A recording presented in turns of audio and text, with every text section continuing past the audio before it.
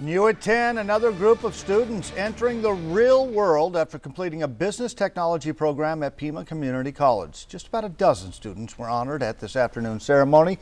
Their specialties ranging from medical office specialists to office assistants and medical records technicians. Mary Lou Lopez Delgado. Start together and finish together, and to know that the opportunities when they're done are literally endless. If you would like to learn more about Pima's business technology program, a link can be found on our website, kvoa.com.